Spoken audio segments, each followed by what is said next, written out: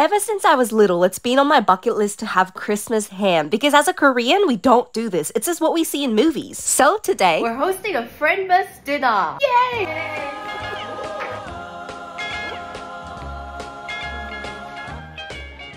Also, before you guys say anything, Bridie was invited to this party. little stars and what's the circle decoration Um, called? Wreath? Oh my goodness. Oh! This part was edible. We got our naked ham. I feel like I'm doing this so wrong. Stick some cloves in there. We're gonna glaze it. I'll tap it like this. Yeah. That looks pretty good. Wait, how do I pick it up? Oh, wait, wait, wait, wait. Oh, it's heavy. If it's gonna fit. Do I need to lower it? Smells so good. Oh, the oil! Oh. Making this kind of Korean style, Yeah. so don't judge. We're gonna add some chili powder. Spoonful of gochujang. Junie's making carpaccio. Wait, they're coming in 20 minutes.